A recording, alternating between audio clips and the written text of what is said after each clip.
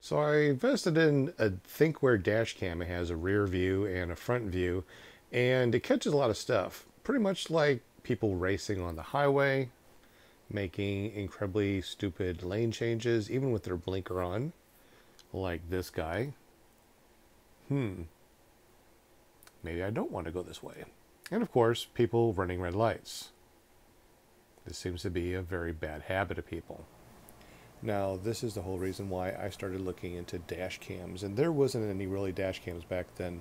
This is from an iPhone 4, and this person was swerving onto oncoming traffic, swerving over to the side of the road, and now she hit a bridge, hit two cars, and went into the ditch.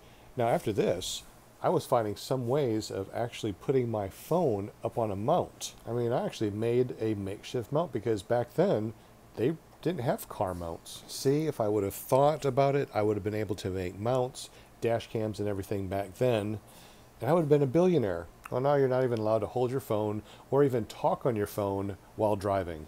So, have you seen anybody texting and driving? Do you text and drive? Do you think dash cams are good or bad? Leave some comments down below. Subscribe if you haven't. We'll talk with you later.